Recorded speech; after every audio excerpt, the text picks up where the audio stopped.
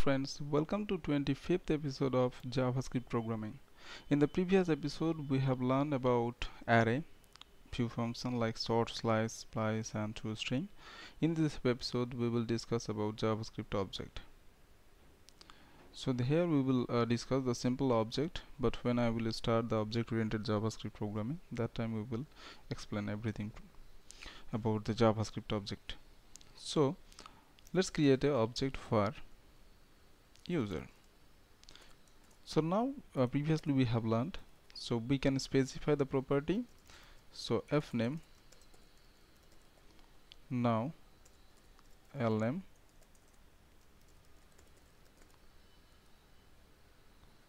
and age so we have defined our object that is user object. We can test this is object so type of user. So this is not a normal data type. This is an object. Because we are storing here you can see string age then we are creating a complex data type that is user. So now we can access the object property using dot operator. So like user dot fname. So let's try. So we should get the first name so we are getting. So also we can access the edge like that. And here we can see. We can concatenate using plus sign. Previously we have learned your edge is so save and refresh. So here you can see your edge is this one next thing uh, in other ways also we can if we know the key that is edge so we can access like that. So let's refresh this page. So here you can see we are able to access. Now another way you can create an object. So so var user equal to new object. So we have created object.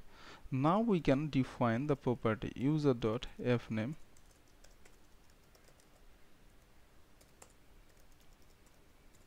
lm so we have defined two properties. Now we can access the properties like user dot fname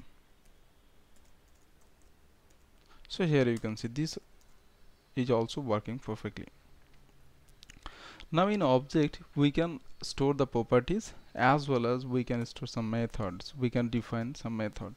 So let's take an example. So user equal to now we can define fname and lname.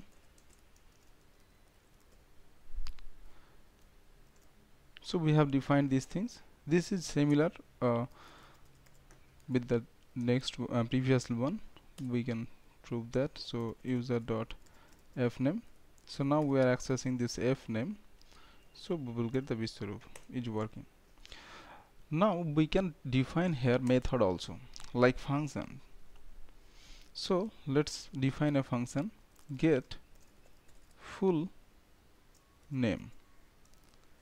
Now colon now instead of defining a normal value we can define a function. So this one can return something hi test.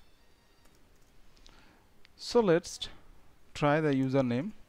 So this is working. So no error.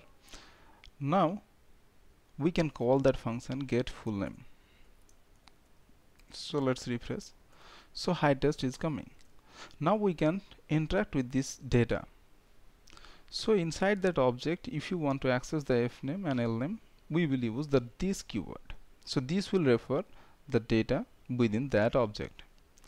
So we can give hi your full name is now previously we have learned concatenation so we can concatenate. Now we will add fname. So fname. Now we will give a space so we will concatenate. Now we will give the lname. So this dot lname. So now we are returning this string. So alert get full name. So let me refresh this page. So here you can see hi your full name is Biswarup Adhikari.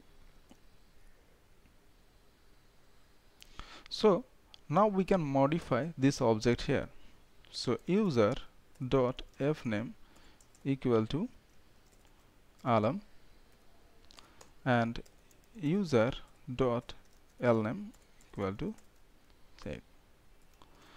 So now we have modified the property of the object. Now if we call this what we will get? So let me refresh so here you can see your full name is alam sk so here you can see you can introduce new new method so let's say you have a property edge 7 now you can create another method. So get edge or status. Now function we can do some decision. If this dot edge is greater than 80 return old. Else? Return young. So now we can check the status. So by default the age is 27 so still we have not override the age. So it's 27 but we have override the name Biswarup to Alam and Adhikari to say so let's refresh this page. So here you can see young. Now let's modify the age here. So let user dot age equal to 199 now let's refresh this page. So here you can see old.